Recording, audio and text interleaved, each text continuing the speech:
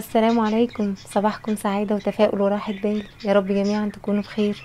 وصفتنا النهاردة حلوة جدا طعمها حلو وشكلها زي ما أنتم شايفين كده والأحلى إن مكوناتها بسيطة جدا وكمان طريقة تحضيرها بسيطة. هنعمل مع بعض النهاردة ألذ وأخف لحمة بالبصل وكمان هنعمل رغيف اللحمة العملاق اللي أنتم شايفينه ده وكمان هنعمل مع بعض رز مصري أبيض مبهر. هيكون طعمه حلو جدا جنب اللحمة دي وكمان الوصفة دي هتخرج بيها عن الشكل التقليدي شوية لتقديم اللحمة سواء شوربة أو مع الخضار.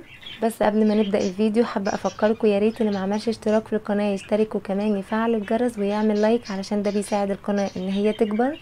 ويلا نقول بسم الله ونشوف هنعمل إيه.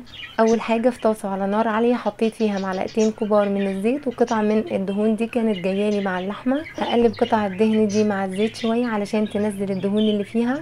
طبعا لو أنت ما عندكيش هتستخدمي معلقتين كبار من الزيت وعليهم معلقة كبيرة من السمنة أو الزبدة. وطبعا كل ده على نار عالية ولما الدهن يتشوح شوية هنزل عليه بكيلو من اللحمة. في الوصفة دي تقدري تستخدمي أي نوع لحمة أنت بتفضليه سواء عجالي أو ضاني. أنا استخدمت كيلو من اللحمة أهم حاجة تقطعي اللحمة اللي أنت هتستخدميها مكعبات يكون حجمها وسط. ما تخليش حجم قطعة اللحمة كبيرة علشان إحنا مش هنسلقها فعايزينها تستوي بسرعة. وهشوح اللحمة مع الدهن على نار عالية علشان أنا عايزة اللحمة تاخد طبة وكمان تاخد لون. واللحمة بتتشوح على نار عالية هحط عليها توابل صحيحة اللي هي الحبهان والقرفة والقرنفل ونجمة اليانسون وورق لورا. وهسيب اللحمة تتشوح مع التوابل دي شوية. وطبعا كل ده على نار عالية علشان أنا مش عايزة اللحمة تنزل مية أنا عايزاها تاخد لون. وطبعا قلبيها باستمرار علشان ما تاخدش لون من جنب واحد بس. وكمان وهي بتتشوح كده هحط عليها نص معلقة صغيرة من الثوم المفروم الناعم. بلاش تستغني عن الثوم المفروم ده علشان بيخلي اللحمة ريحتها تجيب لآخر الدنيا. وأول ما اللحمة تبدأ تنشف خالص وتاخد لون زي اللي أنتوا شايفينه ده.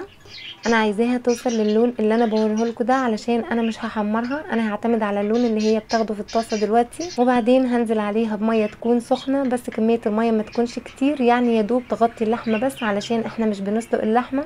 وإنتي هتتابعيها لو المية نشفت واللحمة لسه ما استوتش هتزوديها ربع كوباية بربع كوباية. لكن ما ينفعش تنزلي بكمية مية كتيرة من الأول. أنا حطيت على المية معلقة كبيرة من الملح معلقة صغيرة من الفلفل ومعلقة صغيرة من الكمون. ويا ريت تسوي اللحمة على نار هادية علشان اللحوم عموما لما بتستوي على نار عالية ما بيكونش طعمها حلو. وعلى بال ما اللحمة تستوي هعمل العجينة اللي هحط فيها اللحمة علشان بحب أسيبها ترتاح بتكون أسهل معايا في الفرد وما بتتعبنيش. العجينة بتاعتها مكوناتها بسيطة جدا. أنا استخدمت 3 كوبايات من الدقيق عليهم معلقة صغيرة من الملح معلقة صغيرة من ال baking powder وذره ملح ومعلقتين كبار من الزيت. والمية طبعا حسب الدقيق اللي انت هتستخدميه. انت ما تنزليش بكمية المية كلها مرة واحدة انزلي بنص كوباية وبعدين قلبي.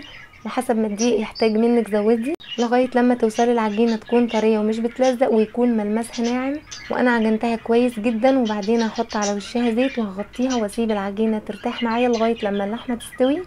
لو انت هتعجني العجينة دي وتفرديها على طول يا ريت تعجني المية تكون دافية شوية. وهنا اللحمة اللهم بارك كانت استوت في المية اللي أنا حطيتها محتاجتش أزود مية تاني. علشان كده بقولك قطعي اللحمة مكعبات يكون حجمها وسط علشان تستوي معاكي بسرعة. أنا عايزة في المرحلة دي ما يكونش في الطاسة مية خالص ما يكونش فيها غير الصوص اللي نازل من اللحمة. وهشيل اللحمة من الطاسة علشان هكمل في الطاسة دي باقي الوصفة. عايزة أقول لكم إن اللحمة وهي كده قبل ما أحط بصل وقبل ما أحط أي حاجة كانت بجد ريحتها قلب البيت كله وكان طعمها بجد خطيرة جدا. أنا مش عايزة البصل ياخد لون أنا عايزاه بس يدبل. وأول ما البصل يدبل شوية هحط عليه معلقة صغيرة من الثوم المفروم الناعم. طبعا أي حاجة أنا بقولها في المكونات عايزة تستغني عنها مفيش مشكلة عايزة تستبدليها بحاجة تانية برضو مفيش مشكلة. قلبت التوم مع البصل شوية لغاية لما التوم ريحته تطلع وحطيت عليهم شرايح من الفلفل الرومي الأخضر والأحمر وشرايح من الفلفل الأخضر الحار. ومعلقة كبيرة من صلصة الطماطم ومعلقة كبيرة من هريسة الفلفل الأحمر الحلو اللي أنا عملتها وخزنتها معاكم. علشان كده قلت لكم خزنوها لأن مش هتستغنوا عنها في أي وصفة بتعملوها. وقلبتهم مع بعض شوية وبعدين هحط توابل بودر اللي هي معلقة صغيرة من الفلفل الأسود نص معلقة صغيرة من الكمون نص معلقة صغيرة من السبع بهارات ونص معلقة صغيرة من بهارات اللحمة ربع معلقة صغيرة من القرفة البودر ونص معلقة صغيرة من الكزبرة الجافة. وهقلب التوابل شوية علشان ريحتها تطلع وبعدين هرجع أحط اللحمة تاني. كل الخطوات دي من أول ما حطينا البصل لغاية لما نزلنا باللحمة تاني هتقلبي تقليب سريع علشان أنا مش عايزة المكونات دي تستوي. ولما أقلب اللحمة مع بقية المكونات هرجع أغطي الطاسة تاني لمدة خمس دقايق على نار هادية مش أكتر من خمس دقايق علشان البصل والفلفل والمكونات دي أنا مش عايزاها تستوي لأن هي لسه هتدخل الفرن فأنا عايزة يكون شكل البصل والفلفل في الآخر. يكون محتفظ بشكله ما يكونش دبلان كده ومهري. والعجينة بعد ما ارتاحت قسمتها لجزئين علشان أنا هخلي اللحمة كلها جوه العيش. يعني مش هيكون الوش بس عبارة عن عجينة لا هيكون تحت اللحمة عجينة وفوق اللحمة عجينة. فعلشان كده قسمتها لجزئين وهفرد كل جزء على شكل دائري علشان ياخد شكل الصينية. وعلشان العجينة تيجي معاكي بشكل دائري بسهولة وانت بتفردي بلاش تيجي عند الطروف. ولما ترجعي تقلبي العجينة برضو بلاش تيجي عند الطروف. كده هتاخد معاكي شكل دائري بسرعة. والصينية قبل ما أحط فيها العجينة دهنتها بالزيت وحطيت فيها الطبقة الأولى من العجينة وده شكل اللحمة بعد ما سبتها خمس دقايق بس كل حاجة لسه محتفظة بقوامها. وخلاص كده هاخد اللحمة وأفردها في الصينية على العجينة. مش قادرة أقول لكم بقى في الآخر طبقة العجينة اللي تحت دي شربت الصوص بتاع اللحمة كله وكان طعمها بجد بجد فوق الخرافي. وبعد ما أحط كمية اللحمة كلها هفرد الطبقة التانية من العجينة زي ما فردت الطبقة الأولى. علشان أحطها على وش اللحمة زي ما أنتوا شايفين كده وهتني طروف العجينه على بعض علشان أقفلها كويس وكمان تاخد شكل حلو. وبعد ما أقفل طرف العجينة كله على بعضه همشي عليها بالشوكة علشان تاخد شكل حلو. وأنا بقسم العجينة في الأول لجزئين لقيت كل جزء بالنظر كده هيكون كبير على الصينية فأنا قصت شوية من العجينة. وأكيد طبعا العجينة الزيادة دي مش هرميها. كنت هعمل بيها أي حاجة تانية بصراحة. بس فجأة كده رسمة العجينة في الآخر هيئت لي شكل التارت. فقلت طب وإيه يعني لما أعمل أشكال على وش العجينة زي التارت؟ هكون استفدت من العجينة الزيادة وكمان هتطلع لي شكل رغيف اللحمة في الآخر. حلو جدا. فرجعت فردت العجينة تاني الزيادة عندي وقطعتها بالقطعات على الشكل اللي أنتوا شايفينه ده وحطيتها على وش الصينية. ودهنت وش الصينية باللبن. محبتش إن أنا أستخدم بيض يعني ملوش لازمة. وبعدين رشيت حبة البركة وشوية من السمسم. بيدوا طعم حلو جدا جدا للعجينة. وهدخل الصينية على فرن ساخن مسبقا على درجة حرارة 200 في الرف اللي في النص. وهتتابعيها لغاية لما تاخد لون من تحت وبعدين هتطفي من تحت وتولعي عليها الشواية لغاية لما الوش ياخد لون. وعلى بال ما الصينيه اللي في الفرن تستوي هحضر الرز الأبيض المصري المبهر. في حله على نار عالية حطيت فيها 3 معالق كبار من الزيت ومعلقة كبيرة من السمنة البلدي. ولما الزيت والسمنة يسخنوا كويس حطيت كوبايتين من الرز المصري المغسول. وهحط معلقة كبيرة من الملح والتوابل الصحيحة اللي أنا هستخدمها. هتكون عبارة عن ورق لورا وحبهان وقرنفل وقرفة خشب ونجمة ينسون لازم التوابل اللي إحنا هنستخدمها مع الرز كلها تكون صحيحة علشان الرز يفضل محتفظ بلونه الأبيض. لكن لو استخدمنا توابل بودر أكيد لون الرز هيختلف. وقلبت الرز كويس جدا مع السمنة والزيت والتوابل لغاية لما الرز يتشمع. بلاش تستعجلي في خطوة تقليب الرز دي علشان الرز يطلع معاكي مفلفل. وبعدين هحط عليه المية السخنة. المية تكون فوق ارتفاع الرز بواحد سنتي أو لكل كوباية رز كوباية مية. وعلى فكرة بيكون مستحب جدا في أي نوع رز أنت بتعمليه. أول ما المية اللي أنت حطاها تبدأ تغلي هتشيلي الغطا كل شوية وتقلبي الرز لغاية لما الرز يشرب المية اللي أنت حطاها كلها ويبدأ يعمل ثقوب واسعة.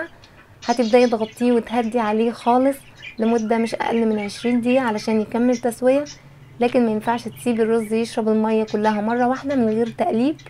مش هيطلع معاكي مظبوط وكمان ممكن يطلع معجن. فخطوة التقليب المستمر دي مهمة جدا في أي نوع رز أنت بتعمليه. وده كان شكل رغيف اللحمة بعد ما خرج من الفرن. كان شكله بصراحة عجبني جدا. كنت قاعدة أصور فيه كتير قوي. حسسني كأني عاملة صينية تارت بالمربى مثلا.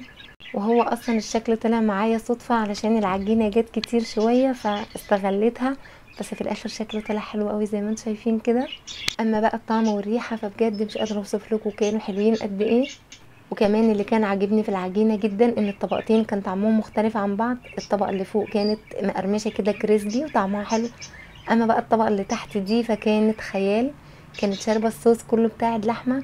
يعني تحسيها طرية على مقرمشة. كانت طرية لأنها شربت الصوص بتاع اللحمة وفي نفس الوقت استوت في الصوص ده فمخليها مقرمشة جدا. أما بقى اللحمة كانت دايبة جدا وطعمها حلو قوي وناعمة قوي. مع الرز الأبيض المبهر فكان طعمهم حلو جدا مع بعض. بصوا هو اللي أنا لاحظته أو اللي إحنا لاحظناه يعني وإحنا بناكل الوصفة دي إن أنت كل حاجة ليها طعم مختلف. يعني أنت مش عارفة تاكلي رز مبهر مع اللحمة الدايبة ولا تستمتعي بالعجينة اللي شاربة من الصوص ولا إنك تاخدي من العيش وتغمسيه مع اللحمة. يعني هي وصفة وأنت بتاكليها من كتر بجد ما هي لذيذة.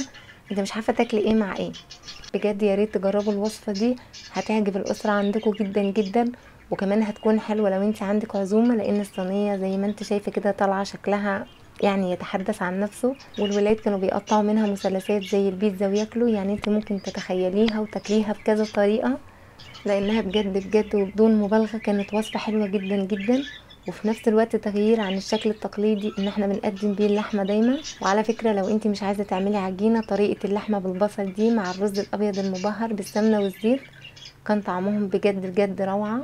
وكده وصفتي معاكم النهاردة خلصت. يا رب يكون الفيديو كان خفيف على قلوبكم. نتقابل إن شاء الله في فيديو جديد.